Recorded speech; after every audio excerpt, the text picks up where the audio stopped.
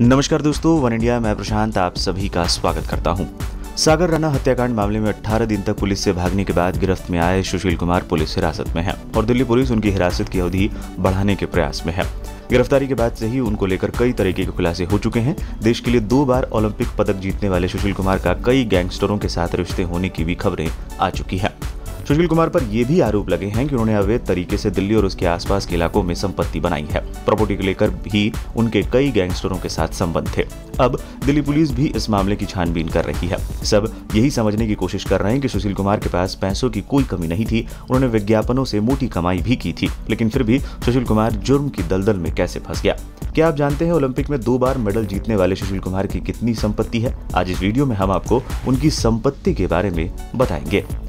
सुशील कुमार की संपत्ति कुल कितनी है, इसका सही सही कोई पुख्ता प्रमाण नहीं है। लेकिन मीडिया में आई कुछ खबरों के अनुसार 2020 की जानकारी के मुताबिक सुशील कुमार पाँच करोड़ की संपत्ति के मालिक हैं। ओलंपिक में देश को मेडल जिताने के बाद भारतीय रेलवे ने उन्हें 50 लाख रुपए कैश और रेलवे में सरकारी नौकरी दी थी। इसके अलावा दिल्ली सरकार की ओर से भी उन्हें इनाम में 25 लाख रुपए कैश मिले थे। इतना ही नहीं, हरियाणा सरकार और स्टील मंत्रालय ने भी पहलवान को 25-25 लाख रुपए का इनाम दिया था। मॉडल टाउन इलाके में D ten by six block का मकान उनकी पत्नी के नाम है, जिसकी वजह से ही सुशील और सागर राणा के बीच विवाद हुआ था। जिसके बाद सुशील ने सागर राणा की पीट पीट कर हत्या कर दी थी।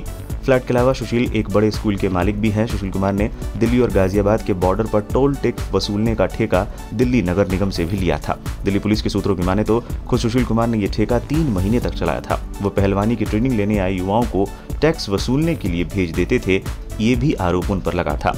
बता दें, करीब 18 दिन तक फरार रहने के बाद पुलिस ने सुशील और उसके सहयोगी अजय कुमार को दिल्ली पुलिस की स्पेशल सेल ने 23 मई को गिरफ़्तार कर लिया था। दिल्ली पुलिस ने कई असफल प्रयासों के बाद पहलवान को पश्चिमी दिल्ली के मुंडका से गिरफ़्तार किया था। पूछताछ के दौरान सुशील ने कबूल किया कि वो केवल मृतक को सबक सिखाना चाहता था। बता दें, बीते चार मई को दिल्ली के छत्रसाल स्टेडियम में पहलवानों के दो गुटों में मारपीट की खबर सामने आई थी। मामला हाथापाई से शुरू हुआ था और गोलियाँ तक चली थी। इस मामले में तेईस साल के पहलवान सागर राणा की जान चली गई थी। फ़िलहाल के लिए इस वीडियो में इतना ही। तमाम अपडेट्स के लिए बने रहे वन इंडिया के साथ।